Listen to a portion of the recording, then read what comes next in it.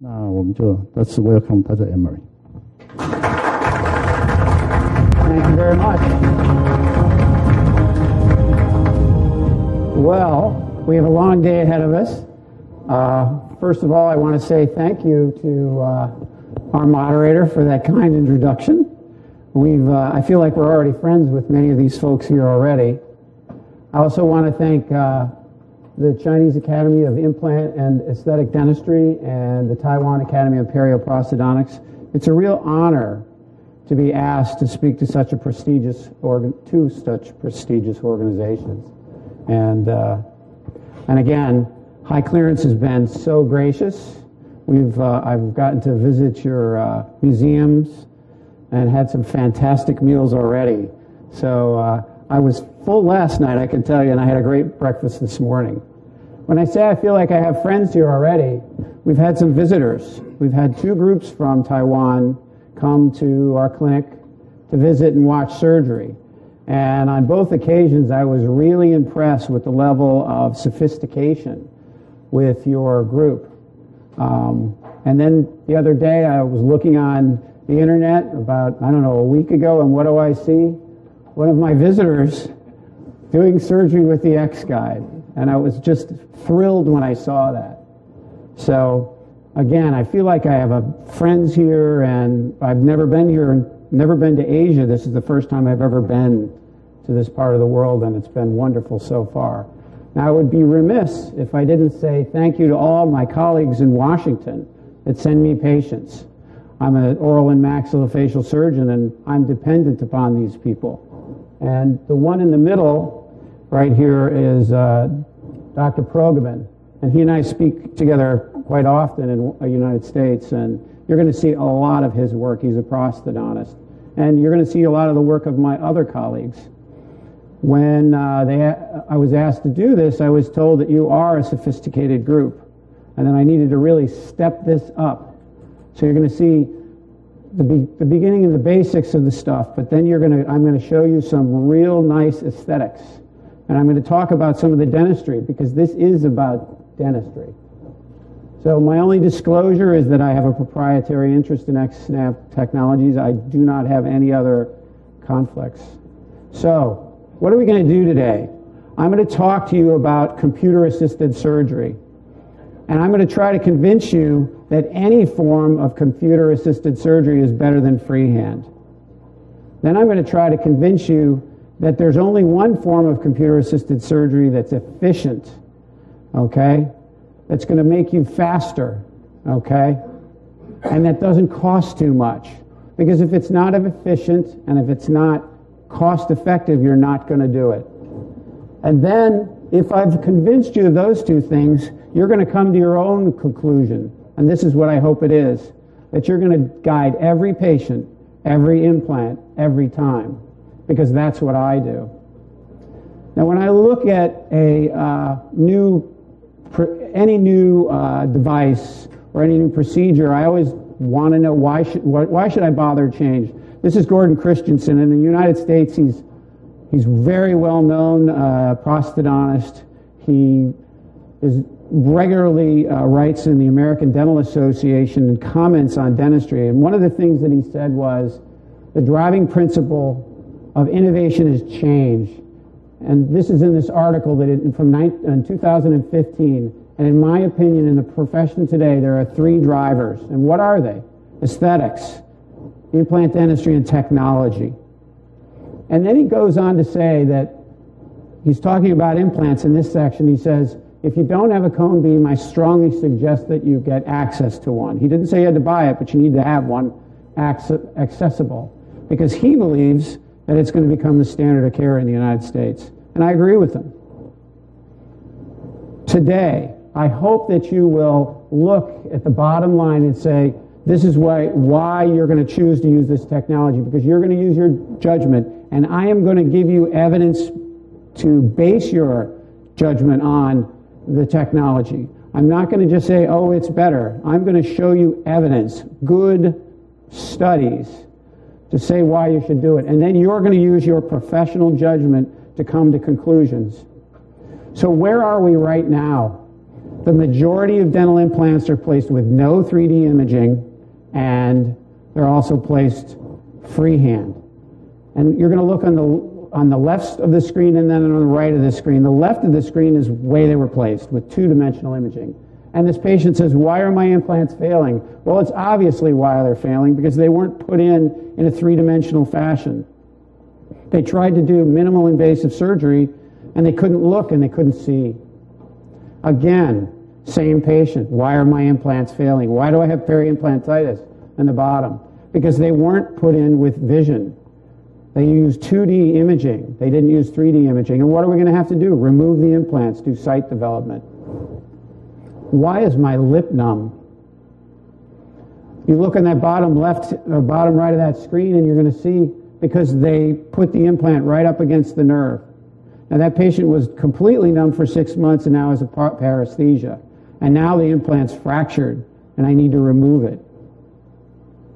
This is after I've removed it, and I'm going to show you how I did that with the X-Guide. Why are my implants failing when I just had them put in six months ago? There was no CT. There was no site development because they couldn't see they needed to do site development. And this is less than six months. And the CT shows us why there's no bone. So all these cases have walked into my office in the last year or so. This walked into my office last week. Why, are my, why am I going to lose this tooth? Why are my implants failing? This one implant down here doesn't look too bad, does it? But then look at it on the CT. I have to remove that implant. Why did my implant break? Why do I have food stuck under my implant all the time? Now, this is common. I've done that. The implant's a little distal. So we create a pocket mesially. Food gets impacted there. Why? Because it's only about a millimeter and a half, two millimeters distal. And I'm going to show you why that happens. Why did that implant fracture? Now, no, this patient was last week, came in last week. I'm in constant pain. The patient came in to have implants number uh, 14 and 15 placed. Only 15 could be restored. So what did they do? They prepped the two mesial teeth and put a cantilever on. And then they overloaded tooth number 13, which needed endo, and now tooth number 12 needs endo. And why did that implant not be restored? Because the implant's coming through right on the palatal aspect. I'm going to show you why this happens. Okay? Parallax. This is why free, I don't care who you are. We're all subject to the same biological principles of binocular vision. If you take your finger and put it in front of you and look with your right eye and aim at one a person, and then look at the left, it shifts. That's called parallax. Now let's look at it, how it affects us when we're doing surgery and we're looking down into the mouth. We, can, we can't see the restorative space. We can only see what is in our vision. Even if we move over we just shift the parallax. Now, how big is, it, is a molar? 10 millimeters.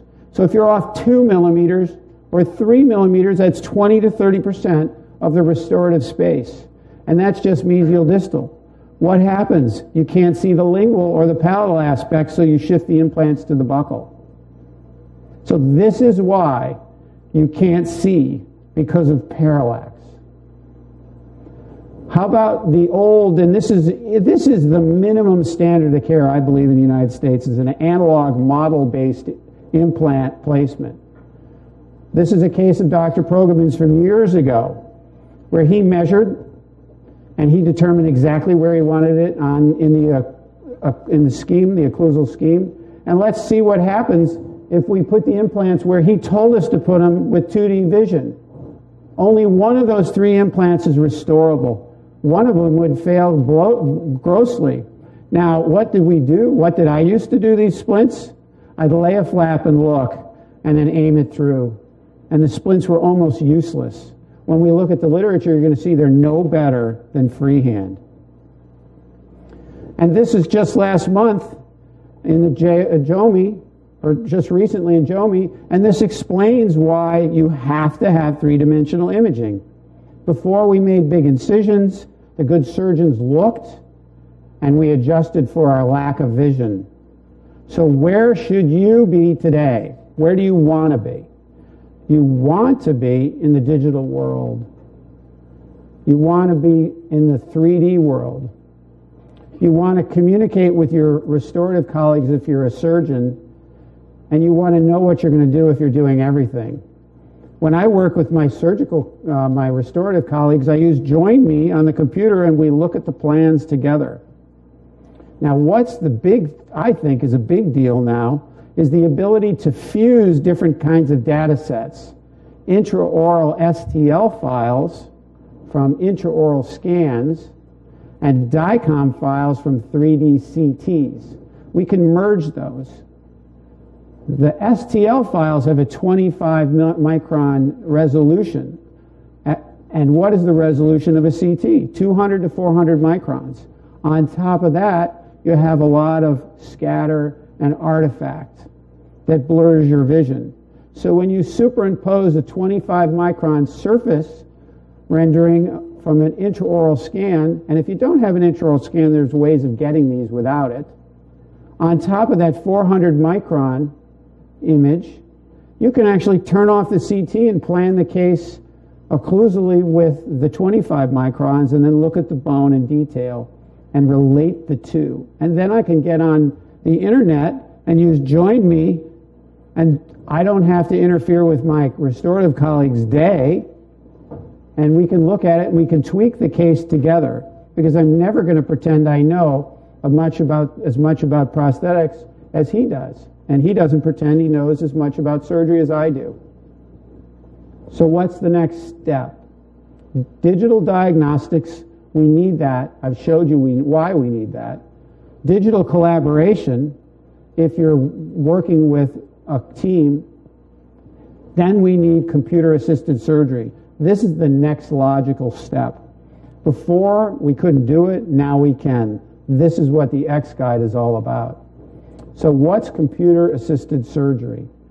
Computer assisted surgery is using diagnostic imaging, 3D, and computer-based CAD tools to plan your restorative and your surgical plan.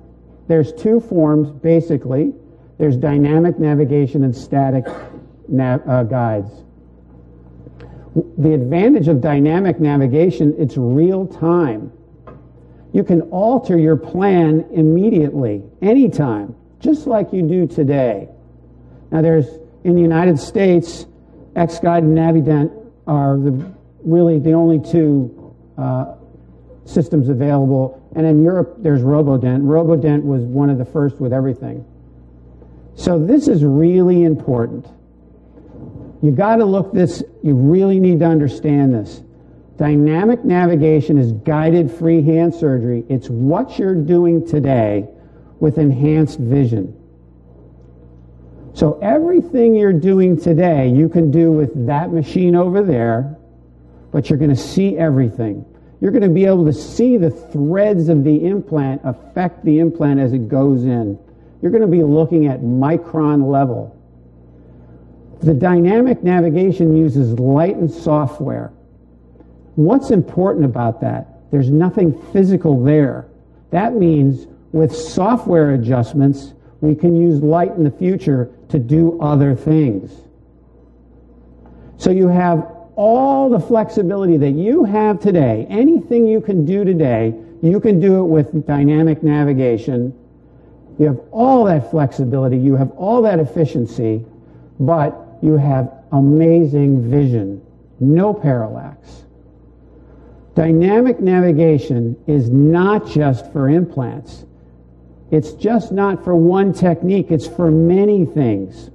Think of it like a scalpel. It's a scalpel that you can control with your thoughts, light and software. Anything you can think of doing that you want to guide, you're going to be able to use that machine in future because we're going to be able to write software for it. It's sort of like an iPhone or a handheld device. Just think what you started out doing, all you can do is make a call and keep a, a log of people, and now you can do so many things with it. So that's the way you need to look at that device. It's not just for implants. So, how does dynamic navigation work? You need a simple workflow. You've got to put some fiducials in the mouth. That's today. That's not in the very near future. You won't even need to do that. You have to take a CBCT with the fiducials in the mouth, and then you have to calibrate instrument, instruments. And I'm going to go through this in more detail as the day progresses. Then you've got to plan the case. Now, everything I've showed you up to now, I don't do. I have nothing to do with it in my office. My staff does it all. They even load the files and do the initial plan. So how efficient have I done anything? Now I have to tweak the plan. I have to look at the plan. I have to approve it because they're not good enough to do that. Not yet. And then I guide. So here's a little video on just the basics of how, how, what it looks like while you're doing it. This is Dr. Robert Emery demonstrating the use of the X-Guide. After we measure drill length, we touch an adjacent tooth to ensure accuracy of guidance. We select the tooth using the mouse. We then center the tip of the drill, the blue dot, over the target, which indicates ideal position. The center of the target. As we drill, the depth is indicated by the color. It's yellow until we reach the 45 degree spot on the clock. When we reach that position, it will turn green. The ideal angle is indicated by the top of the drill, which is a white circle. We reach that depth, it turns green. We're then going to select the other tooth, do a quick system check, which only takes seconds. We then center the drill over the target. As we drill down, again, the color indicates depth.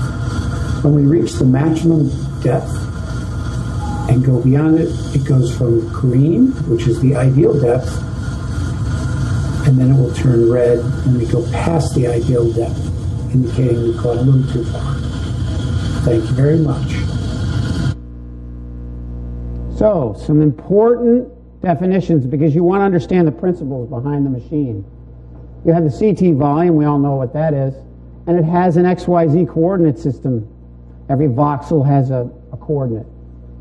You have the surgical tracking volume, and that's the area that is imaged by the cameras. And it also has an XYZ coordinate system to it.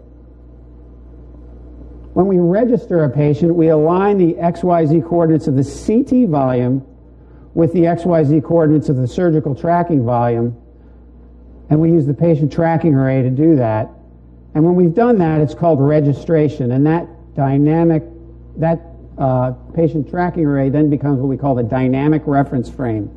It's the object that keeps everything oriented. When we calibrate an instrument, what we're doing is measuring the geometry of that instrument or that device relative to the guiding uh, of, of, the relative to the tracking arrays. Now, these are the, all the components of the system that you want to look at when you're evaluating these systems that affect precision, and I'm going to go through a few of them. The computer is important because you want your system to be robust. You most of the time, a dedicated computer system that's made just for uh, tracking is going to be better than uh, a, like a laptop. Large monitors are important. When I tell you I don't look in my patient's mouth when I in, place implants, your colleagues that have seen me operate are going to are going to tell you I don't look in the mouth. I can close the mouth when I'm doing this, and I do it often. So you want a big monitor. You don't want to be bending over and straining to look at a little dinky screen. Obviously, cameras are important. You've all, you're all doing photography if doing aesthetic dentistry. The difference between the camera you're using and the, the two cameras here is they're stereo for stereo vision. You still have a depth of field, you still have a focal distance, and resolution obviously is important. This is something you might not think of. The difference between the cameras is called the surgical baseline, and there's a sweet spot relative to the distance of the object you're tracking to the width of that surgical tracking array that you want to go into. If they're too small, you're giving up something in order to make it smaller. So again, there's a lot of complexity here, but you want that sweet spot to keep the cameras and the objects out of your way when you're operating. The digital analog interface, the fiducials, they have to be rigidly fixed to the patient. They need to be close to the area that you're going to surgery. They need to, uh, they have to hold the surgical tracking array and the fiducials, and they, this is really a big deal. They need to be easy to fabricate. If you have to do expensive lab work, that just raises your fees and you're not going to want to do it. Now, the same thing goes for the patient tracking array. You don't want it too big. This is the predicate device that I started with a few years ago, about 10 years ago. And this is active. Those lights are blinking. And it's got a wire on it that tends to displace it. These are other systems that came from the medical world and they're reflective or passive. This is another system that's available today. And you'll see it's big. It gets in the way. This is the X-Guide tracking arrays. They're small and they stay out of the way. But again, if you make them too small, then they don't track as accurately. You're going to see some systems that are coming out that are really tiny. But if you block even a portion of it, it stops tracking. So again, like everything in life, there's a sweet spot, a balance, and you've got to find that balance. This is the instrument tracking array, and you don't want it too big. Last month we published a, a series of third molar extractions that I did about five years ago. And I used this object. It's heavy as hell. And this was not with the X-Guide. This is again the pre predicate device. This is again comes from the medical world, and this is one of the prototypes for the X-Nav. This is the one previously. It's smaller. And again, these are small enough that they stay out of the way, but they're sort of big. And if you block any of them or you change the angles too much, they don't track well. Now, this is what's going on deep in these pictures when you look today. You're going to see these windows down here, and you're going to see these blinking lights. And when everything's tracking well, you get a sense of it gets bright. And why is it getting bright? Is because the machine's telling you the quality of your tracking. If you blow this up, you're going to see, oh my goodness, look what this thing is tracking. It's tracking every corner in there. That's called X corner technology and it creates a three-dimensional object that's this purple thing so that you can cre- you can cover it up part of it and it'll still track that means it's robust and that's what you want in any engineering you want robustness so even if you co- cover up part of the trackers it's still going to track software is a big deal you want it to be intuitive and everything on here flows from left to right you just keep clicking as you go along so you want it to be implant centric when you plan. That means everything's oriented to the implant. You have to have virtual teeth so you don't have to do as much lab work. You must have STL superimposition again so you can get the, the, uh, uh, the uh, 25 micron accuracy of the CT scans. You want things to be generic because people like different implants. I have five different implant systems in my office and I use them for different things and it should you allow you to make provisionals ahead of time. This is something you're not used to, the tracking software. You can't look at six degrees of freedom in this, in this uh, tracking system without looking at three windows. This is the original one. Position, pitch, roll, yaw, the angle, and depth. With the X-Guide software, position is the blue dot, then the top of the drill is got a white circle on it and you center it over the blue dot on the X and then the depth is indicated by color as you go down. So you can see six degrees of freedom in one view.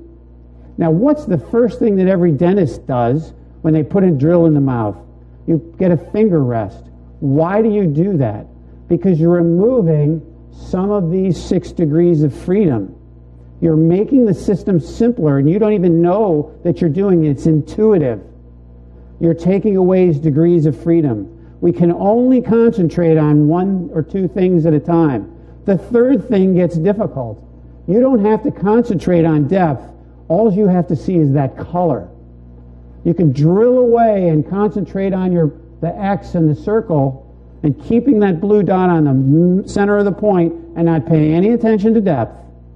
And as soon as you see the green go, you slow down. So you have six degrees of freedom. Now let's talk about static guides. I used a lot of static guides.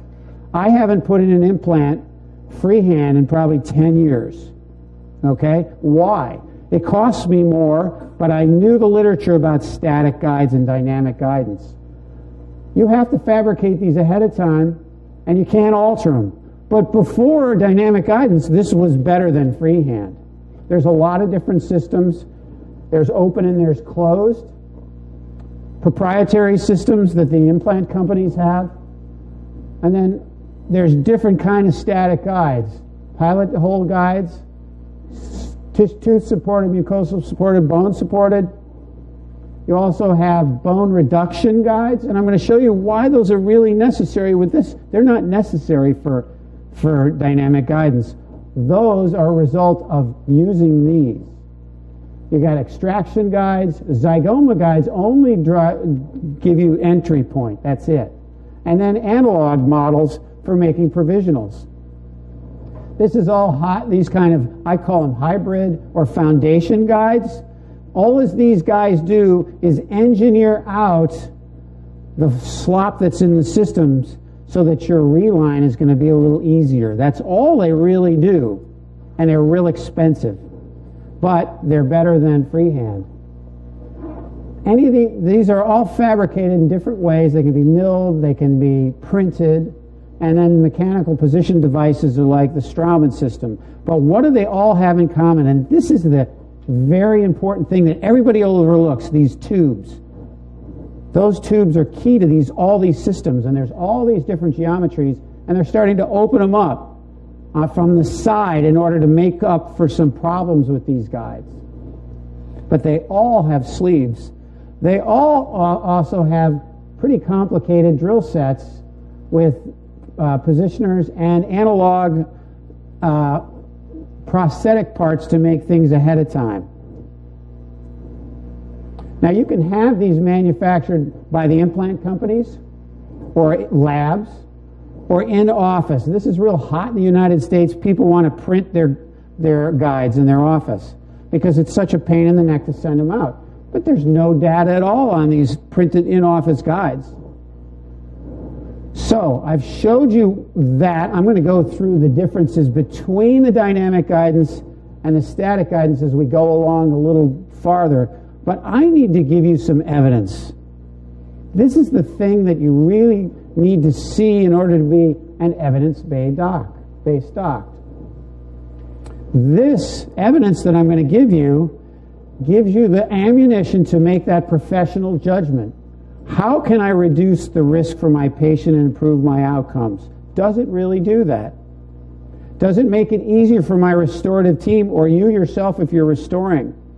This is a big deal and nobody wants to admit it, but cost and time, are, if it isn't cost efficient and it isn't uh, time efficient, you're just not going to do it. And everybody ignores this, but as I was talking to your president today, we're both about the same age. We've been in this for 30 years and my back's starting to hurt me. So I'm looking for ways of improving my ergonomics. You need a compelling reason to change. The bottom line for your patients is they don't care about any of that. They want it to be convenient, they want it to cost less, and they, they all know, because they're not stupid and they read the, the paper, that minimally invasive is good. And you cannot do minimally invasive surgery unless you guide. So, what, is the, uh, what does the literature say? First, a couple definitions. Accuracy. Accuracy is the degree of closeness between a measurement and the measurement's true value. This target is high accuracy and low precision. What's precision? Precision is the degree to which measures under the same conditions are unchanged. It's the standard deviation of the mean deviation. This target high precision and low accuracy. So, what do your patients deserve every time? They deserve high accuracy and high precision. If you can give that to them, why wouldn't you do that? When we don't have a good roadmap, bad things happen. So, we want to avoid bad things because we need a good roadmap. So, you need to be able to plan ahead of time. So, let's see man versus machine. This first study is a model study. This is a meta analysis that I did with Scott Merritt. He's our chief scientist. And we reviewed all the literature. For static guides, we use meta-analysis. There's two of them, Jung's and Tahmaseb's. They're both published. And for the dynamic systems, we use the, the, the literature that was published by the companies that is available in peer-reviewed literature. So first thing, how do you do when you do freehand? Every measure, it doesn't matter whether it's angular deviation, entry point, or apex, freehand is terrible. Now, why do you care about model data? Model data gets, gives you the opportunity to look at the system itself. It takes out the clinical environment, the patient. So you should see the best these systems can do with model data. When you're looking at the data, cadaver uh, studies are equivalent to models. There's really no difference because the outcomes are almost always the same. So how does the X-Guide do? This is published. This isn't just what we say. This is in the literature, and we have available, if you go to the X-Guide uh, website or to my website, all this data. Where do static guides fall? They're here. They're good. There's nothing wrong with them. The problem is they're a pain in the neck. So let's look at some more literature. This is a human split mouth randomized prospective uh, study, partially edentulous. Right side analog of uh, like the extent the it's not made with CAD CAM, and left side or or the other side would be a static guide. And the important thing is to look at this number here as the angular deviation because that's the one we're really bad at because of parallax. This is uh, static guides, there's freehand. And you're going to see these numbers six and above freehand all the time. It's over and over again. And you want to see numbers around three or below for any form of guidance. Now that's a level one study. Here's another level one study human randomized prospective edentulous. This was done by a periodontist in Belgium. It's a fantastic study. This, believe it or not, was the first study that ever documented freehand implant placement in the world. Okay? Look how we do freehand, and these are edentulous patients. Look at our entry points. What's the average size of a molar? 10 millimeters. That's 30%. You wonder why it's so hard to restore these cases? How do the static guides do? You're around three, and we're getting down here. Okay, we can improve on those, but that's still good. Now, this is the first study that, and the only one that compares freehand, the same surgeons, to dynamic. And this was the first 100 cases we did. And this is, my, my dad is in here. This is how good I am. Look how good we did with dynamic. Our entry points are under a millimeter. So we go from over a millimeter under a millimeter. We go from almost eight millimeter, or uh, eight degrees, down to around three. So this is a meta-analysis of fully guided versus partially guided. Now, why would I show you that? What does that mean? Fully guided means the implants are delivered to depth with the, the implant holder. With static guides, with dynamic guidance, we define it as greater than 50% delivered with the systems. And if we look, again, the numbers are under a millimeter and three, we're, we're below three degrees with fully guided. With partially guided, we're not quite as good, but we're still way better than freehand. A lot of people are advocating two millimeter twist drill guides, and this is what you're getting. Okay, you're not getting fully guided, so you're not getting as much out of the system as you can. Now, this is our data. This is the largest database of guided surgery ever published, okay, where we have freehand compared to uh, guided. This is all with uh, dynamic navigation. We have a large enough data set now, almost 500 patients and 700 implants, that we could break out partially and fully guided. In every measure, when we switch and we guide more, we are statistically significantly improved. P 0.05. Every measure. So the more you guide, this data screams at you the better you're going to be. And I don't care who you are, because this data is for master surgeons. Every one of these published, these docs do, you know, more than 500 implants a year. They know what they're doing. So you can't say, oh, I, I do better than that. No, you don't. This is the published data. This is where you are when you freehand. This is where you will be when you guide. And this is the same data in a graphic form. This is freehand. Excuse me, this is, yes, uh, freehand. This is dynamic navigation, fully guided. Every measure, statistically significant improvement. So, how about the outcome? How about the outcome? Does it affect outcome? Well, we know implants integrate. Even when you put them in terribly, they integrate. So the, the outcomes don't change, so the systems don't make it worse. And that's what you need to understand. There is no change, and these are the two biggest databases, their meta analysis that are available. So, if you're honest with yourself and if you're analytic, guided surgery, any kind of computer assisted surgery, is more accurate and precise than freehand. So, why aren't people guiding? It's obvious it's a pain in the neck. So, I'm going to stop now. Are there any questions? We're, we're going to continue. I just want to know if there's any questions.